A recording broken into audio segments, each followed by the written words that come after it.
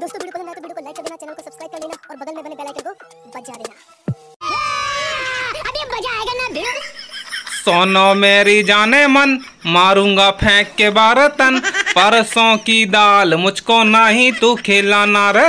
पेट खराब हो जाता है दस्त लग जाता है। परसों की दाल मुझको नहीं तो खिलाना रे। चलो भाई अंत बोला तो चाचा जी अभी अंत बाकी है। वो परसों की दाल नहीं थी। परसों की दाल नहीं थी तो बदबू क्यों दे रही थी? क्योंकि उसमें मक्खी गिर गई थी। कमीनी मक्खी वाली दाल खिला दी और बताई भी नहीं। कौन है ये तो पक्का कोई झंडू ही